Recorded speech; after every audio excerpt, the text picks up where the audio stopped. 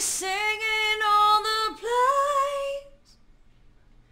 Oh, and the mountains in reply.